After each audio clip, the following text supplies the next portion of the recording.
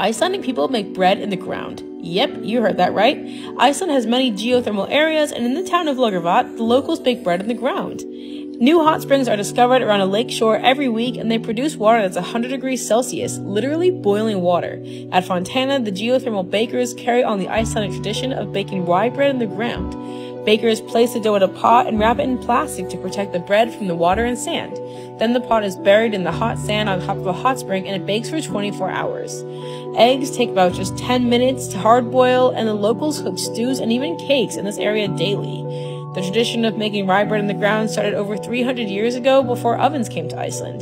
The most popular way to eat this bread in Iceland is tons of butter, fresh Arctic char from the lake, and an egg.